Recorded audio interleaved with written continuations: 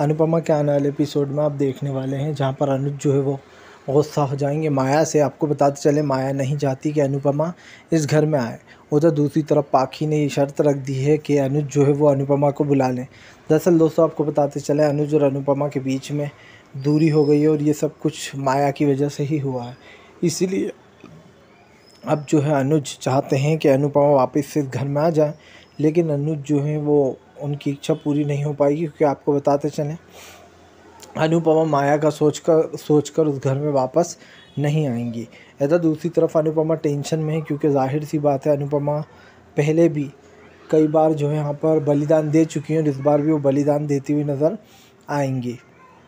लेकिन अब देखना ये भी होगा कि आखिरकार इस बलिदान का मतलब क्या है, क्योंकि सब जानते हैं कि फ़िलहाल इस वक्त जो अनुपमा है, वो काफ़ी ज़्यादा मुश्किल दौर से गुज़र रही हैं। और उनके पैर में भी चोट लगी हुई है। फ़िलहाल दोस्तों, वीडियो अच्छा लगे तो लाइक ज़रूर